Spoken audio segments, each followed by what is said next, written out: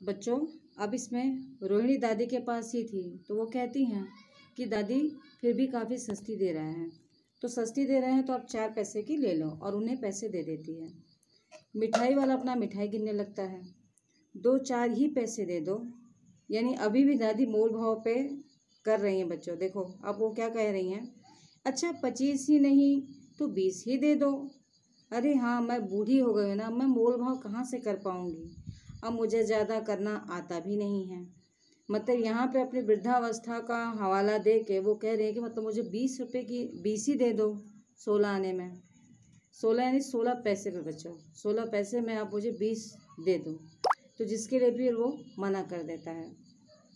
और कहता है कि नहीं, मैं इससे ज़्यादा नहीं दे सकता। कहते हुए दादी के पोपले मुँह से जरा सी मुस्कुराहट फूट निकली। पोपले का अर्थ होता है बच्चों, जैसे जब बुज़ुर्ग हो जाता है तो उनकी चमड़ियाँ थोड़ी लटक जाती हैं। और जैसे अब आपके घर में भी दादी, बाबा होंगे तो उनके देखिए चेहरे कुछ दादियों के जैसे दांत भी पूरे गिर जाते हैं तो उनका मुँह कैसा हो जाता है? तो उसी पोपले से वो क्या करती हैं? उस चेहरे से वो मुस्कुराती हैं कि देखो मैं मोल भाव कर रही हूँ, हो सकता है बात बन जाए, और मुस्कुरा देती हैं ये बोलकर। रोहिणी ने दादी से कहा, दादी, इससे पूछो तुम इस शहर में और कभी भी आए थे या पहली बार आए हो, यहाँ के निवासी तो तुम हो नहीं। दादी ने इस कथन को दोहराने की चेष्टा की ही थी कि मिठाई वाले ने उत्तर दिया, पहली बार नहीं, और भी कई बार आ चुका हूँ।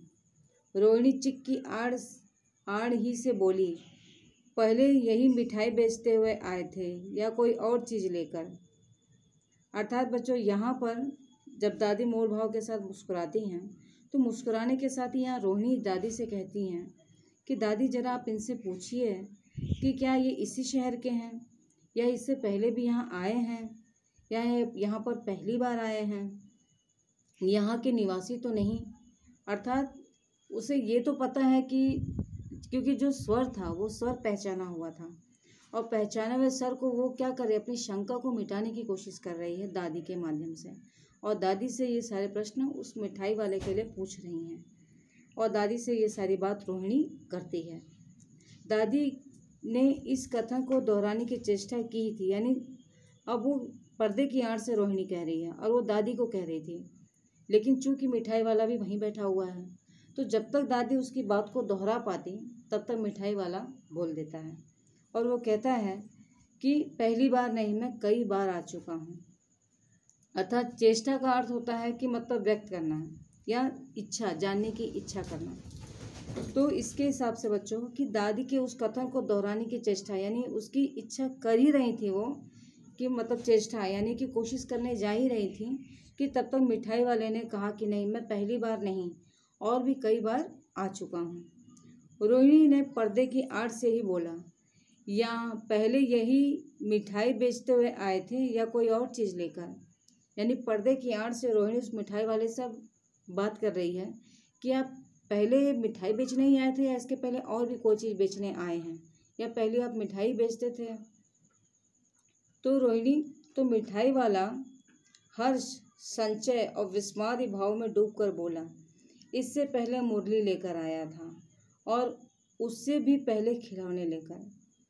अर्थात बच्चों, यहाँ पर मिठाई वाले ने, पहले तो वो खुश होता है मतलब हर्ष का अर्थ होता है कि खुश, प्रसन्न होना।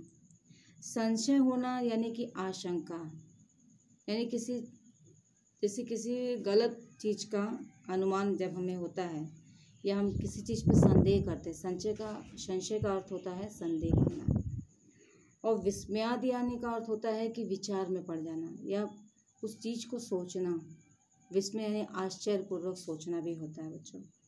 तो ये तीनों भाव उस मिठाई वाले के अंदर इस नाते से आते हैं, क्योंकि वो ये कहता है कि नहीं, मैं इससे पहले मुरली वाला और उससे पहले मैं खिलौने वाला, ये दोनों ही लेकर मैं बेचा करता था। यहाँ पर इन सभी शंकाओं को, रोहिणी की जितनी भी शंका थी, उसे यहाँ पर मिठाई वाले ने पूरी की पूरी समाप्त कर दी थी। और वो ये कह देती है मतलब मिठाई वाला ये कह भी देता है कि मतलब मैं इससे पहले मुरली बेचता था और उससे पहले मैं खिलौने बेचने आया करता था।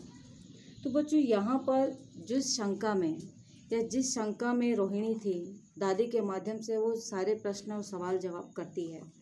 लेकिन इसी के साथ बच्चों, यहाँ पर वो अपनी शंका को मिटाने के लिए कि मतलब आप पहले इस शहर में थे या नहीं थे, और उसके बाद आप यहाँ पहली बार आए हैं या इससे पहले भी आ चुके हैं, क्योंकि उस स्वर को रोहिणी पहचानती थी।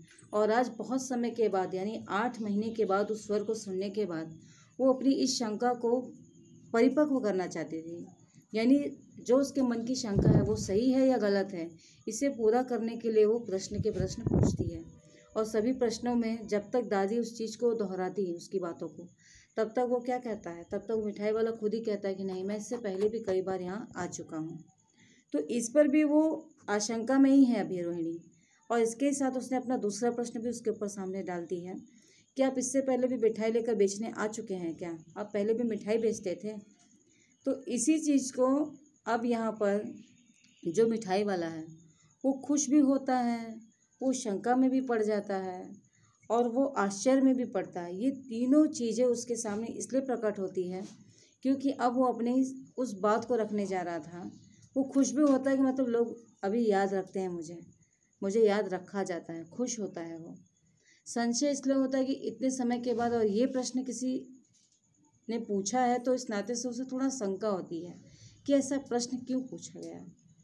और फिर वो आश्चर्य में भी पड़ता है कि आज इतनी सारी बातें एक साथ पूछी जा रही है तो क्या बात है?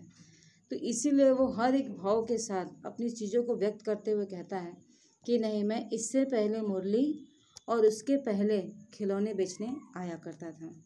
तो ये सारी शंका को मतलब अब रोहिणी की पूरी की पूरी शंका को उसने यहाँ पर समाप्त कर दिया है और समाप्त करने के साथ ही उसने अपने आने की, पहले की पहले भी अपनी बातें उसने बता दी हैं कि पहले ही ये वही मिठाई वाला है जो पहले खिलौने बेचता था।